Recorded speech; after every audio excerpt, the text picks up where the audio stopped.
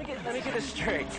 It, it's, a, it's a house in the woods with, with four bedrooms, a pond, and nobody else for miles around. Name a horror film. Any horror film. This place is great. Where's the bedrooms? Why don't I take a nice stroll down that dirt path into the woods late tonight, all by myself? Ooh, I think I stepped on something. Then afterwards, I can go skinny dipping in the pond. I didn't see anything. It was probably nothing. There is something out there. Don't forget, I've rented out every single horror film on videotape. It's driving me crazy. There's no need to worry. What are we talking about here? Those things that pop out of your stomach when you least expect it? Yes, I think you've seen some of these too. There's no need to fear. There's nothing out there. That's where the rest of the chicken was. I don't know where the There's nothing out there.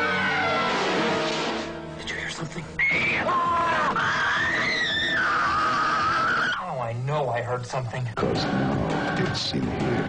Where's Jim? Jim's in the other room melting right now.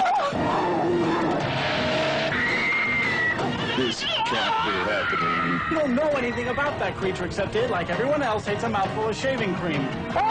This can't be so. No, you're quick. Nice bikini. This stuff only happens in movies. So you're saying we're in a movie? Uh-oh. Oh, where the hell did he go? Oh, oh, oh. She looked into its eyes! This thing hasn't missed a trick. Controls minds, eats people, reproduces. This thing's gonna have itself an orgy. It's a fight to the death with a slimy mutation. And that's how I spent my summer vacation. You see the creature? Give him There's nothing out there. Well, this was a fun vacation, Nick. Too bad we have to go home now. from 20-year-old filmmaker Rolfe Kanefsky.